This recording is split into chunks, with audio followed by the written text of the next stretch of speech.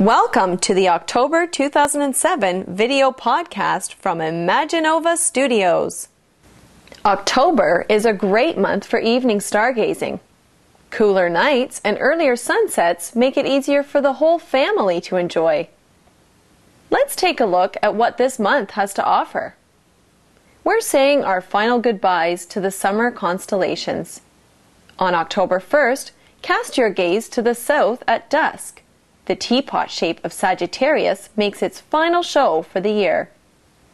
Sagittarius marks the center of our galaxy. See that steam rising up out of the teapot spout? You are looking into a spiral arm of our own Milky Way galaxy.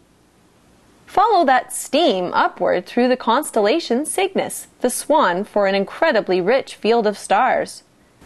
Ahead of Cygnus, a hidden gem presents itself in binoculars. It's the asterism known as the coat hanger cluster. This unusual arrangement of stars looks just like a coat hanger, only upside down. Let's move on to the eastern sky. Did you know that you can see a distant galaxy with the naked eye? The Andromeda Galaxy, or M31, is an easy target in dark skies. Look for the faint smudge in the sky using Cassiopeia to point the way. The Andromeda Galaxy is flanked by companion galaxies M32 and M110, visible only in telescopes. Although you can see the bright core of the Andromeda Galaxy, you might be surprised to know that it actually takes up more sky than the full moon. Let's move forward to the night of October 20th and the early morning of October 21st, the peak of the Orionids meteor shower. This meteor shower seems to radiate from the constellation Orion, and it's all happening courtesy of Comet Halley, which was last seen in 1986.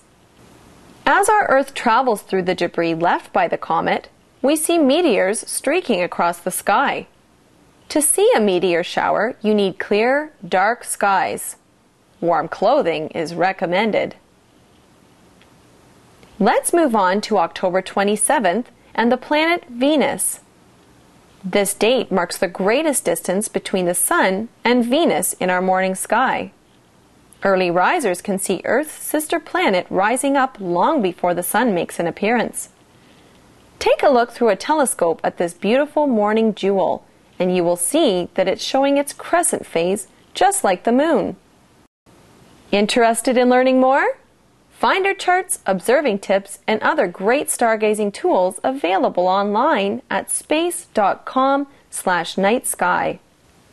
Graphics for this video podcast created with the award-winning Starry Night Planetarium software.